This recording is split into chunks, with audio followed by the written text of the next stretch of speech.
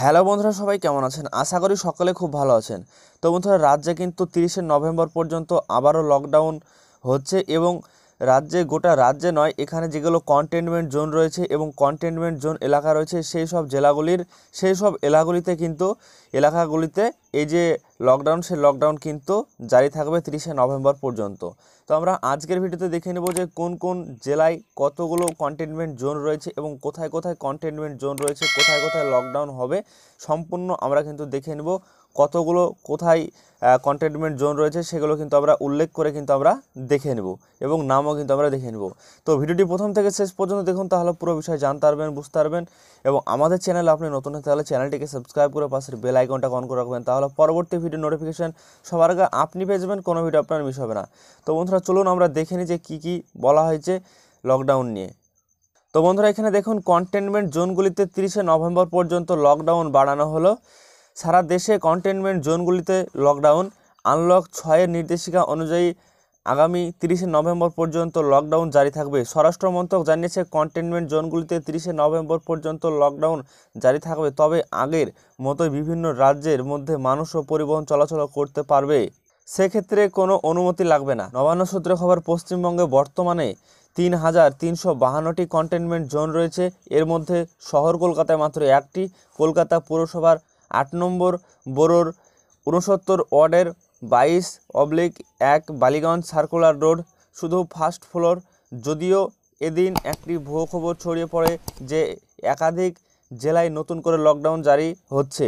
তবে কলকাতা পুলিশ সেই খবর গুজব বলে উড়িয়ে দিয়েছে। এছাড়া হাওড়ায় উনষাটটি কন্টেনমেন্ট জোন, দক্ষিণ চব্বিশ পরগনায় তেত্রিশটি উত্তর চব্বিশ পরগনায় আটটি হুগলি আঠারোটি নদিয়ায় আটশো সত্তরটি পূর্ব মেদিনীপুর সাতাশটি পশ্চিম মেদিনীপুর তিনশো একান্নটি পূর্ব বর্ধমান পাঁচশো তেষট্টিটি মালদা চারটি জলপাইগুড়ি চোদ্দোটি দার্জিলিং সাতটি কালিম্পং আঠাশটি এবং এখানে উত্তর দিনাজপুর তিনশো ষোলোটি দক্ষিণ দিনাজপুর এগারোটি মুর্শিদাবাদ সাতচল্লিশটি, বাঁকুড়া ছেচল্লিশটি, বীরভূম একশো সাতাশটি, কোচবিহার তিনশো পঁয়ত্রিশটি, পুরুলিয়া চারশো আটত্রিশটি, আলিপুরদুয়ার আটচল্লিশটি। ঝাড়গ্রাম একটি কন্টেনমেন্ট জোন শুধুমাত্র পশ্চিম বর্ধমানে কোনো কন্টেনমেন্ট জোন নেই, অর্থাৎ কন্টেনমেন্ট মুক্ত জেলা। এদিকে বাংলায় বেড়েই চলেছে সংক্রমণ, বাড়ছে মৃত্যুর সংখ্যাও, তুলনামূলক সুস্থ হয়ে উঠেছেন কম।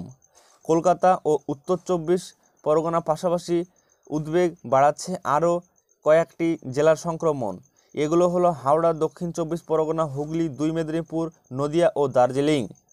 সোমবারের স্বাস্থ্য দপ্তরের বুলেটিন অনুযায়ী মোট আক্রান্ত যথাক্রমে কলকাতায় ছিয়াত্তর হাজার আটশো আট, উত্তর চব্বিশ পরগনায় একাত্তর হাজার আটশো একত্রিশ, হাওড়া চব্বিশ হাজার একশো তিরানব্বই, দক্ষিণ চব্বিশ পরগনা তেইশ হাজার তিনশো উনষাট, হুগলি সাত সতেরো হাজার তিনশো চুয়াল্লিশ এবং এখানে পূর্ব মেদিনীপুর বলা হয়েছে চোদ্দ হাজার দুশো পঁচাত্তর ও পশ্চিম মেদিনীপুর তেরো হাজার চারশো তেষট্টি, জননদিয়া এগারো হাজার তিনশো পঞ্চান্ন জন ও দার্জিলিং দশ হাজার আটশো সত্তর জন, বাকি জেলায় সংক্রমণ দশ হাজারের নিচে, রাজ্যে এদিনে আক্রান্ত চার হাজার একশো একুশ জন, মোট আক্রান্ত সাড়ে তিন লক্ষ তিপান্ন হাজার আটশো বাইশ জন। এবং এখানে চব্বিশ ঘন্টায় রাজ্যের উনষাট জনের মৃত্যু হয়েছে। এই পর্যন্ত রাজ্যে মোট মৃত্যুর সংখ্যা ছ হাজার পাঁচশো জন। অ্যাক্টিভ আক্রান্তের সংখ্যাটা বাড়তে বাড়তে সাঁত্রিশ হাজার ছড়ালো।